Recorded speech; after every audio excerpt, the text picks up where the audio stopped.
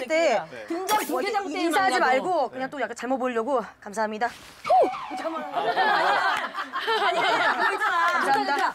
아니면 아이돌 아이돌들 인사 있잖아요. 둘셋 박! 하나, 둘, 셋. 와인 어밀리아, 안녕하세요. 트와이스입니다. 여러분의 히어로 임영웅이올 씨다 뭐 이런 거죠. 올 씨다가 야올 씨다가 뭐야? 그렇게니까 올시다. 뭐야? 이월 시작.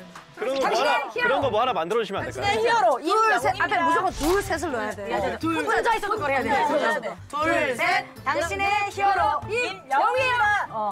호까지. 당신의 히어로 임영웅입니다. 호우. 둘셋 하고. 아 혼자 둘 셋. 셋. 자 소개 좀 부탁드립니다. 둘 셋. 안녕하세요. 당신의 히어로 임영웅입니다. 정답 정답. 완전 잘 저런 거요? 아 지금 너무 좋았는데 호 하고 이게 너무 세서 시간처리. 이런 거 가지고 자신 있게 그냥 호. 좋아하지. 그렇지, 어, 그렇지, 그렇지. 그렇지, 어, 이거까지. 여기까지, 끄덕끄덕. 좋았어, 좋았어, 좋았어. 음악 방송에서는 이렇게 하시고 또 이제 우리 연령층 높으신 우리 어르신들 있을 때는 올시다로 해서도 한번 올시다로. 올시다로. 어. 안녕하세요. 여러분들의 히어로 임영웅이 올시다.